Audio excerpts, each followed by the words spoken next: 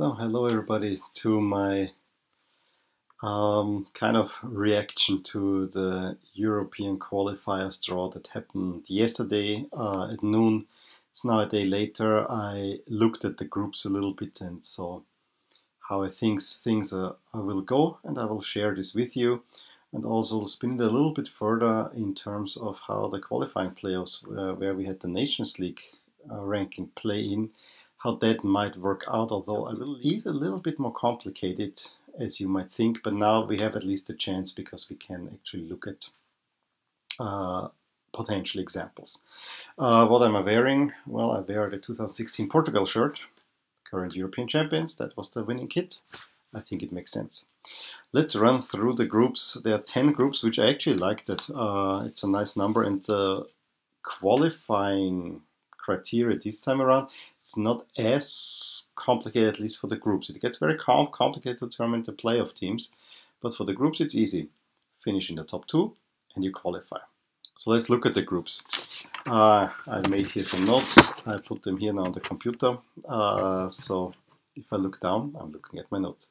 The first group is, and I put it the way it was um, uh, seeded. The first five groups all have five teams. Those are the first four are the ones that have um, the teams in the final four of the Nations League, plus a fifth group where uh, this is not happening, uh, where they have two open slots uh, that they can use for friendlies each team. All the other groups play the entire year only qualifying games. Okay, finally, that was a lot of talking around it. The first group, Group A, is England, the Czech Republic, Bulgaria, Montenegro, and the Kosovo. A deceivingly easy group for England, but I think this is a very, very even group overall. Uh, England's, I, I, also wrote down odds. England has very uh, low odds, so you get 116 for England to uh, win the group, uh, whereas the Czechs, who are second, are 9. Bulgaria is only 15 and Montenegro is uh, 13, and then Kosovo is 23. You see already a very, very, very even group. We will see other groups where the odds for the last place team are very um, uh, much higher. And I would agree, this is a very uh, even group, and I think the race for place two is pretty much open in this one. Um, I would like Bulgaria to go through. Um, I just have my doubts. Uh, they have played a great Nations League uh, at first, but in the end it was a little bit stuttering. So I still would say the Czechs, but uh, you know you never never discount Montenegro and Kosovo has been playing great as well. So, but I think I would say England and Czechia will uh, qualify from that group. Next group is similar, uh, but it's more even on the top. We have Portugal, the Ukraine, Serbia, Lithuania, and Luxembourg. Uh, note in the previous group, England and Kosovo already have a at least a playoff spot uh, guaranteed. Portugal, Ukraine, Serbia. Here we have three teams with a playoff spot guaranteed. So one of at least one of these teams uh, will not qualify and we have to have some shifting up. That's important to note. I think Portugal will win this group, but if you look at the odds, Portugal 144, I found uh, Ukraine 450, Serbia 450, Lithuania 126, and Luxembourg 501. And don't discount Luxembourg, they have been doing some damage here or there. I would expect them to pull an upset. I'm not sure if they will do it like I think they, they drew with France in the World Cup qualifier. Um, Portugal should win this. Between Ukraine and Serbia, it's a pretty even matchup. I would favor the Serbs. I know they are League C team, but I would favor the Serbs because they have a little bit more experience. They were at the World Cup already, and uh, I like the generation now. Um, nothing against Ukraine, but I think Serbia is the one team that could make it out of there. Group C is the one that grabbed all the headlines in a way because that's the only one where we have two big nations kind of clashing. We have the Netherlands, have Germany, Northern Ireland, Estonia, and Belarus. Um, I don't see anything but the Netherlands and Germany getting out it. Northern Ireland will put a little bit of a dent in everyone's hopes there, but uh, I don't see Estonia or Belarus especially threatening. This should be an easy peasy group for the two big ones. Should. We already said it for the Netherlands um, in 2014. Uh, the odds actually Germany 144, uh, Netherlands 250. So Germany is favored over the ne Netherlands, and I actually would uh, agree with that. Uh, that uh, the Netherlands made it to the final four over Germany. I think it was more a fluke than anything. Northern Ireland 34, Belarus 67, and Estonia 126. So Belarus over Estonia. Netherlands and Belarus have at least a qualifying spot, a playoff spot guaranteed. So here we have two teams. Group D, um, also kind of evenish. Switzerland, Denmark, Ireland, Georgia, and Gibraltar. Uh, again, three teams that have a playoff spot guarantee with Switzerland, Denmark, and Georgia. Denmark again has to play Ireland. They played them in the World Cup qualifiers, they played them in the Nations League, and they are playing them now again. So I think those are pretty tired of each other by now. Uh, Switzerland is favored at 191. I would agree with that. Denmark, I think I would favor over Ireland as well, 270, and Ireland 433. Um, but I think Ireland's close, slowly closing the gap again. I think could something happen. Georgia 351, Gibraltar 501. Uh, the next group has no team with a playoff spot, but it's still the last one with five teams. We have Croatia, Wales, Slovakia, Hungary, and Azerbaijan. Um, Croatia should win this group uh, outright. Um, I think Wales I would at the moment put ahead of Slovakia and Hungary, but I wouldn't discount those two. Slovakia Hungary is actually kind of a iffy matchup if I think about it. Wales is at uh, Croatia 133 to win the group, 450 for Wales, Slovakia at 8, Hungary at 21, and Azerbaijan at 151. So you know, you see already where this is going, but I still think the, the top three, even for I don't discount Hungary. Hungary is the weakest team in the group, but I think they could do something uh, especially take points of Slovakia, and I'm not so convinced yet of Wales uh, as well, but I think Wales will not be unhappy to be in this group. Now we're in the bigger groups, uh, and Group F is, uh, in many regards, also an interesting one. Uh, we have Spain, who are the top favorites, although I think the odds half a year ago would have been much higher. They only have one third to win this group. Sweden and Norway already playoff spots, so we have two teams in there then Romania, Faroe Islands, and Malta. Just by the look of it, is Spain and Sweden should qualify from this group. But Norway played a very, really good Nations League campaign. Romania, I think also they hung in there with the Serbs. So Romania is a pesky team. The Faroe and Malta should not go. So we have Spain at 130, Sweden 550, no, uh, Norway 10, Romania 9, Faroe 351, and Malta 751. Uh, group G, Austria's group and it's a very mixed bag. Um, from pot one, you got the team you wanted, Poland, like two years ago when we got Wales. Um, Israel, then Austria. Israel is um, maybe not the worst opponent from the third pot, but there is some rivalry going because the sporting director that was fired last year by the Austrian Federation went to Israel.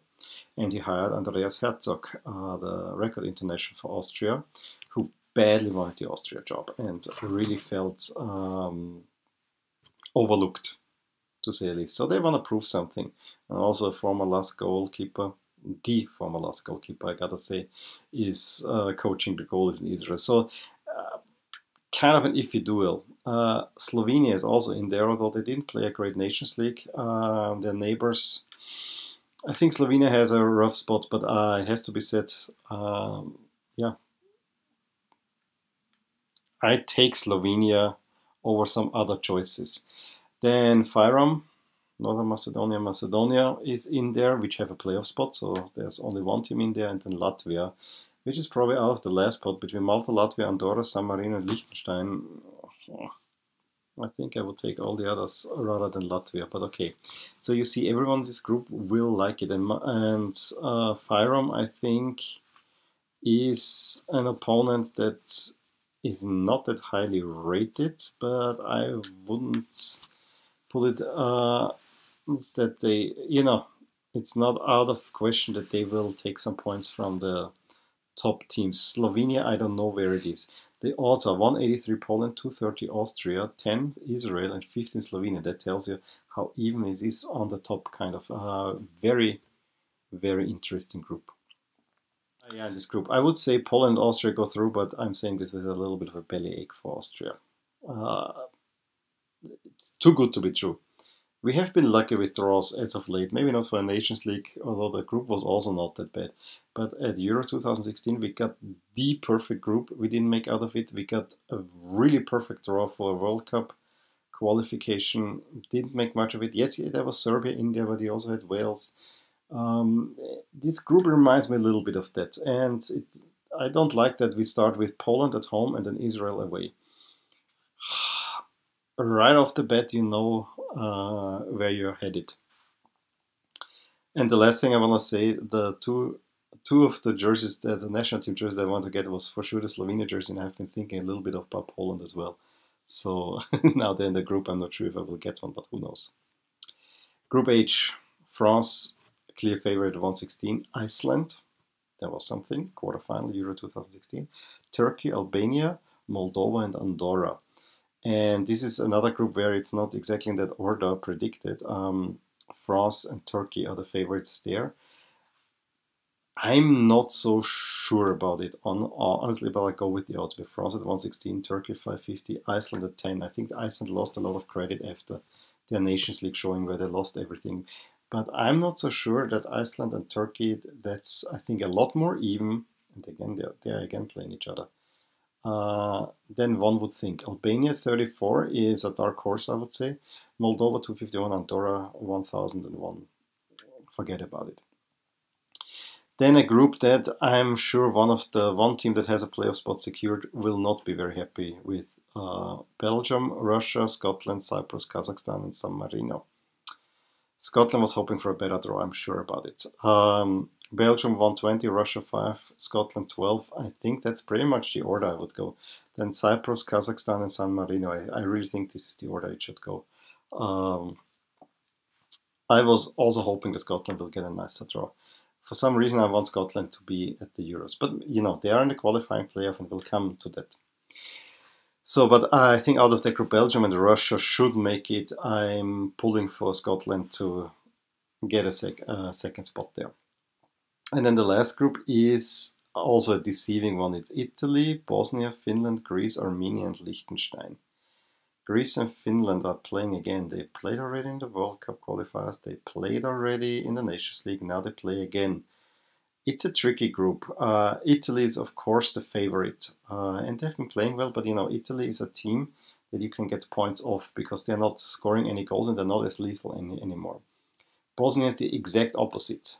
They don't. I saw this the Nation They don't play well, but they score goals out of nowhere. Uh, I still maintain in the four games that they played in the Nations League, they only should have won one outright. In all the other three games, uh, maybe the draw in Austria was okay, but the first two games that they played, that should have been two losses. And they pulled this out because of their individual quality. They have great, wonderful players.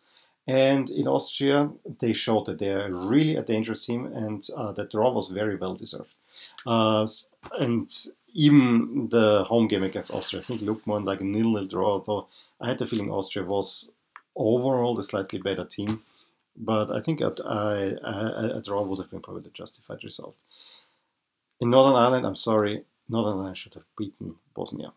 I will always maintain that this was unlucky and was down to um, not how, how, how, how to say yeah Northern Ireland was missing chances left and right. But that opens for Finland and Greece some opportunities, and those teams are also not quite perfect. I'm interested to see how Finland now they will not have the advantages in the Nations League, where they have to get the many home games at, uh, ahead. I think it will be rather the other side around. It. I haven't looked at the schedule, but I could imagine that uh, in March they might not start with a home game now, uh, and it goes more through the warmer months. So uh, that'll be interesting. I would say Greece should finish at least third in this group. Um, if they have a good campaign, they can challenge for a second spot. Um, but so could Finland if they play the same way. It still should be Italy and Bosnia uh, going through just by form, but Bosnia is a mixed bag like most of the former Yugoslav teams. You don't know what you're getting. So if Italy 136, Bosnia 5, Greece 8, Finland 15, Armenia 34, Liechtenstein 501. Now we could go how the uh, Nations League playoffs are all set up. Note we have, if you go from what I said now, we have 11 teams out of League A that are qualified via the uh, traditional qualifiers. Only Iceland, I said, is because of the odds behind Turkey, and that's I'm not guaranteed, but I'm saying now Turkey, France, Turkey, Iceland, that order. Then out of League uh, B, we have nine teams. Uh, no, we have eight teams that qualify. Only Ukraine, Slovakia, Ireland, and Northern Ireland uh, would not qualify, given that the odds are correct.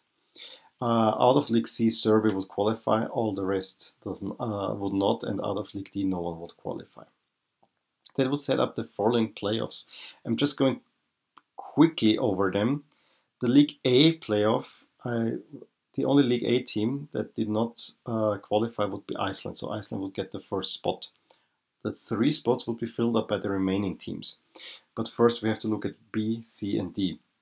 B, the four teams, and that's exactly the four, four teams that uh, did not qualify, they will make up the playoff, are Ukraine, Slovakia, Ireland, Northern Ireland. So it would be Ukraine against Northern Ireland, Slovakia against Ireland, and the winner qualifies. I think Ukraine should do that. Similar for the League C playoff, uh, where we have the we have Scotland, we have Finland, we have Norway. Serbia qualifies, so there are Bulgaria gets the next spot. So it will be Scotland, Bulgaria, Norway, Finland. I have a feeling that Scotland could pull this off. Of course, I would love if Bulgaria will pull this off. And uh, League D, as uh, advertised, Georgia will play Belarus, which is the four seed, and uh, Fyrom, the two seed, will play Kosovo. Interesting, the two Soviets against the two former uh, Yugoslav republics, and then the winner will go on. So that leaves the three spots for League A. And those, since we have taken out of League A, we put Iceland in there. League B is completely taken by the eight qualifiers and the four teams in the League B playoff. So we have to go to League C to get this. And the next teams after um, uh, Bulgaria are Israel, Hungary, Romania, and Greece would just miss out. So bad ranking in a way. And therefore, uh, we would put Iceland with the last place, the last one of those, which is Romania. Iceland versus Romania, Israel against Hungary. And honestly, I cannot tell you who I would favor there. I think Iceland would probably still be the top team there, but I think all four of these there's a chance. I want to say Israel. They have not played too badly, but you know. I would say, if you would ask me, I would say Iceland makes it out of the A, Ukraine out of B, Scotland and Georgia, which is boring because it's the one seats in each of. Well, this is how it goes. I gave you a little bit more info because it's really a little bit complicated and you need to see the seating next to you. I did this in the afternoon uh, was a little bit of work, but actually was fun.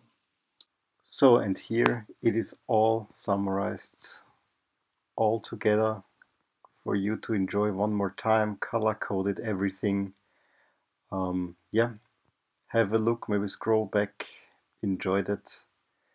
Um, as I said, it was a lot of work, but it was fun, and I hope this was very useful to you.